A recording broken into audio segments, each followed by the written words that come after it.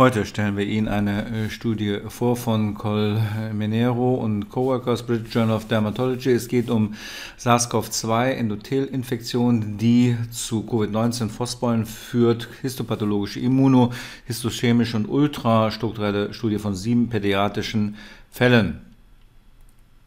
Die Covid-10 ähnliche Läsionen, die vor allem von spanischen Pädiatern bei Kindern beobachtet wurden, sind vermutlich auf eine Infektion der Endothelien mit dem SARS-CoV-2 zurückzuführen. Dies zeigen neue Untersuchungsergebnisse im British Journal of Dermatology. In den letzten Wochen haben sich Berichte über Kinder und Jugendliche gehäuft, die nach einer Infektion mit dem neuen Coronavirus SARS-CoV-2 stark juckende und/oder schmerzhafte Läsionen an den Zehen, manchmal auch an den Fingern entwickelten. Die starken Rötungen und Ödeme erinnerten die Dermatologen an eine Perniosis, Frostbeule, doch die Patienten waren keiner Kälte ausgesetzt gewesen. Bei einigen Kindern war es auch zu einem juckenden Hautausschlag gekommen, der nicht in das Krankheitsbild einer Perniosis passt. Die Fälle waren insgesamt selten, eine Umfrage an spanischen Kindern förderte jedoch 375 Patienten zutage. Bei den meisten Kindern traten die Läsionen in der Erholungsphase auf, in der vielfach keine aktive Infektion mit SARS-CoV-2 mehr nachweisbar war. Ein Zusammenhang mit der Erkrankung wurde deshalb in Frage gestellt. Mitarbeiter einer Kinderklinik in Madrid ist es jetzt gelungen, die Viren in den Covid-10 nachzuweisen. Die Pathologen haben Biopsien aus den Hautläsionen von sieben Kindern im Alter von drei bis 17 Jahren untersucht. Wie bei den meisten anderen berichteten Fällen waren die Rachenabstriche auf das Virus negativ ausgefallen. Mit einer immunhistochemischen Methode konnte in den Biopsien jedoch ein Antigen des Spike-Proteins von SARS-CoV-2 in den Gewebeschnitten nachgewiesen werden.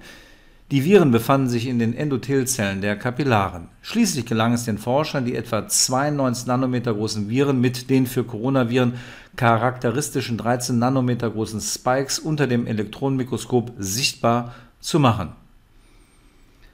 Wahrscheinlich ist eine Endotheliitis für die Entzündungsreaktion verantwortlich, die zu den Frostbeulen ähnlichen Läsionen führt. Warum sie vor allem an den akren zehn Fingern auftreten, ist unklar. Die Prognose ist gut, die Läsionen bildeten sich im Verlauf von wenigen Wochen in der Regel vollständig zurück.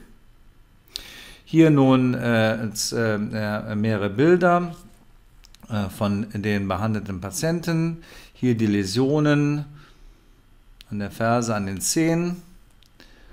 Und hier äh, Fall 4, A bis C, Nachweis von COV2 in zytoplasmatischen Granula, die sich hier äh, äh, so bräunlich anfärben, die sich positiv für SARS-CoV-2 Spike-Proteine anfärben in den Endothelzellen. Und hier eine ultrastrukturelle Darstellung einer Endothelzelle mit Coronavirus-ähnlichen Partikeln das ist hier mit dem Pfeil zu sehen, in der Nähe eines Mitochondrions. Elektronenmikroskopische Auflösung 60.000-fache Vergrößerung. Weitere Informationen und Ergebnisse entnehmen Sie aktuellen Publikationen im British Journal of Dermatology.